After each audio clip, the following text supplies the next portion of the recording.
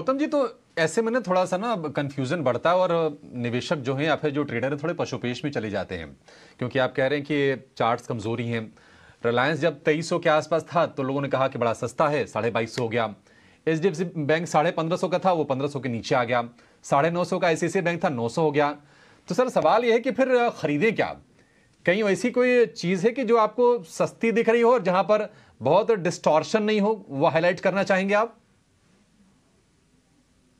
देखिए लोग Warren Buffett style of investing की बात करते हैं, जहाँ पर पाँच से दस साल का व्यू लोग रखते हैं। बट मेरा ये मानना है कि अभी जिस तरह का जमाना है कि अगर आप तीन महीना और छह महीना को संभाल लें तो आपने अच्छा काम किया है। और अभी से अगले मई तक, मई ट्वेंटी फोर तक काफ़ी इवेंट्स है। तो आई थिंक अभी का लॉन्ग टर्म मेरे हिसाब से एक साल का है। उसके बाद हम एक नेक्स्ट फाइव ईयर का व्यू मार्केट के लिए लेंगे। और देखिए, सस्ता महँगा इस मार्केट में कुछ नहीं होता है क्योंकि जिस तरह की तेज़ी हमने मिड कैप्स और स्मॉल कैप्स में देखी you know expensive became more and more expensive in many of the mid caps और स्मॉल कैप्स और हर तरह की जस्टिफिकेशन हो रही थी।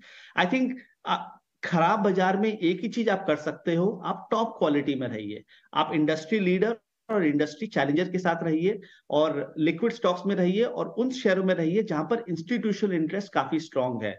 और उन शेयरों में रहिए जो अंडर परफॉर्म नहीं किए, माने जो अच्छे टाइम पे जो नहीं चले, उसको खराब टाइम में मत रखिए। आई मीन क्लियर एग्जांपल है रिलायंस और एच डी बैंक का, जो अच्छे टाइम पे पार्टिसिपेट ही नहीं किए तो खराब टाइम में तो वो चल ही नहीं सकते हैं।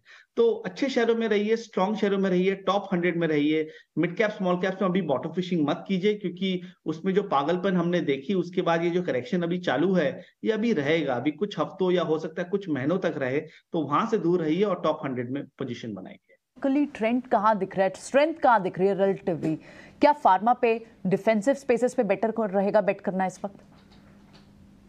हाँ जी आई थिंक उसी के चार्ट्स है जो थोड़े से तो फिर भी ठीक है। अगर आप फार्मा इंडेक्स को देखें और आईटी इंडेक्स को देखें आईटी इंडेक्स में तो पिछले चार पाँच दिनों में काफ़ी वीकनेस आ चुकी है बट स्टिल अगर आप बड़े स्टॉक्स को देखें इन्फोसिस टीसीएस वो अभी भी खड़े हैं बट बाकी स्टॉक्स में काफ़ी वीकनेस आई है। बट ओवरऑल अगर आप देखें रिलेटिव परफॉर्मेंस के हिसाब से तो डिफेंसिव में आईटी और pharma they should stand out और कमिटमेंट यहाँ पर ही बना के रखनी चाहिए।